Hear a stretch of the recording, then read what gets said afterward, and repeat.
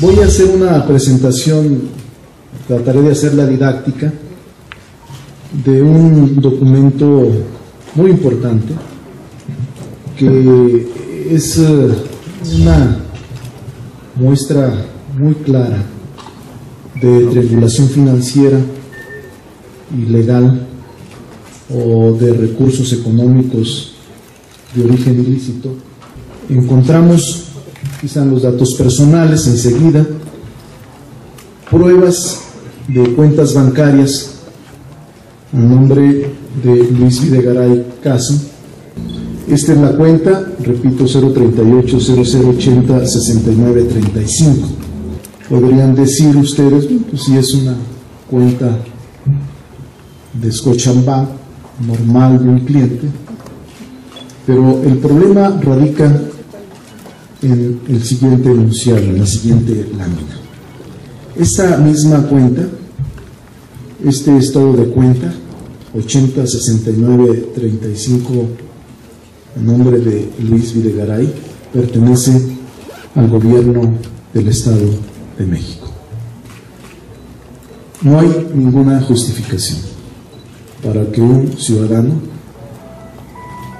menos el coordinador general de la campaña, maneje recursos públicos de un gobierno estatal. Manejan un saldo de 153 mil de manera ordinaria. Diciembre de 2011 y enero de 2012 no se manejaron recursos y se manejaron con un saldo promedio de 152.897. Y como ustedes observan, en todos los saldos es constante, pero ya en febrero, marzo, abril, mayo y junio, fecha de la elección, tiene un comportamiento normal. Y luego de nuevo, hasta caer en julio, este mes, vuelve a su comportamiento normal. No queremos adelantar juicios de valor, pero en cualquier país del mundo esto resultaría muy grave, incluso con privación, de la libertad para quienes hagan estas triangulaciones y manejen recursos públicos de un Estado del que no tienen por qué hacerlo. Vamos a presentarle al IFE a través de la unidad de fiscalización mediante queja estos próximos próximas horas para la investigación exhaustiva de este escándalo mayúsculo que representa la violación del Estado de Derecho en un país, la violación flagrante de la Constitución y de la legalidad. Pero también vamos a presentar denuncia penal ante la Procuraduría General de la República por probables delitos, delincuencia organizada, lavado de dinero y los que resulten. Y vamos a presentar también una solicitud de investigación a la unidad de inteligencia financiera de la Secretaría de Hacienda y Crédito Público y a la Comisión Nacional Bancaria para saber quiénes son los que entregaban ese dinero, no solo del gobierno del Estado se incluye, sino de la otra cuenta de Bancomer, cómo se depositaba, cuánto se depositaba por personas físicas o morales, y por esa razón nos parece que es de una gravedad mayúscula. Está demostrado que el PRI y Peña Nieto utilizaron miles de millones de pesos, ríos de dinero, dinero a raudales para tratar de comprar la presidencia de la República. Yo les recuerdo que tenemos facturas para acreditar alrededor de 100 millones de pesos. Pero solo 33 facturas. Calculamos que Monex emitió de abril a junio más de 4 mil facturas. Va a corresponder a la autoridad pedir toda la información, todas las facturas, para que quede claro cuántas empresas se usaron, cuántas tarjetas se repartieron,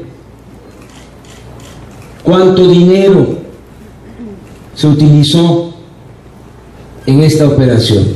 Luego está lo relacionado con la compra de tiempo aire para los teléfonos. Repartieron millones de tarjetas con las imágenes de Peña Nieto. Estamos pidiendo que la empresa que facturó estos servicios de a conocer el contrato,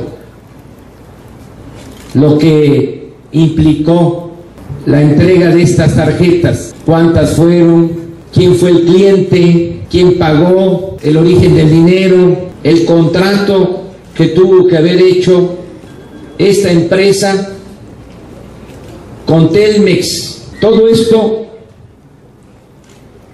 amerita investigación. Y luego el caso de Soriana. Tenemos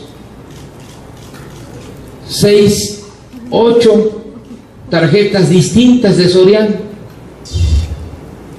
Soriana CTM, la Tamaulipeca Soriana,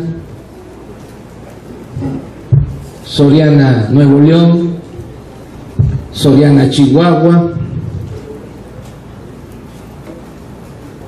y debe de investigarse se les hizo fácil comprar la presidencia con dinero, pero ahora, pues la verdad se está abriendo paso y todo está quedando al descubierto.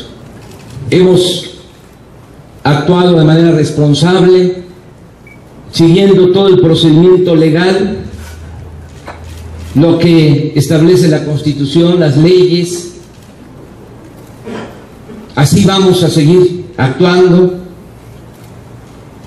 No deben molestarse por eso. No deben los adversarios molestarse por lo que está escrito en la Constitución. Vamos a seguir luchando para hacer valer la democracia, que no se viole la Constitución y que podamos inaugurar a partir de la invalidez de la elección presidencial una etapa nueva en nuestro país, con un presidente interino, honorable, que convoque a nuevas elecciones a partir del respeto de los derechos de los ciudadanos, a partir del derecho que tienen los ciudadanos a elegir libremente a sus autoridades. Me mucho gusto compartir con ustedes estos momentos. Y ahora sí, muchas gracias. Muchísimas gracias. qué pasa con la denuncia, la denuncia contra Soriana por difamación? ¿Qué pasa con le responde? Pues que están en su derecho. Pero usted se va a sumar a esa Están, sí les digo a los dueños de Soriana, que están mintiendo que nosotros no incitamos a la violencia. Y les hago el llamado para que no se preste a una manipulación política. Ya nos usaron bastante, convirtieron a Soriana durante la elección en la tienda departamental de Peña Nieto y del PRI con todo respeto.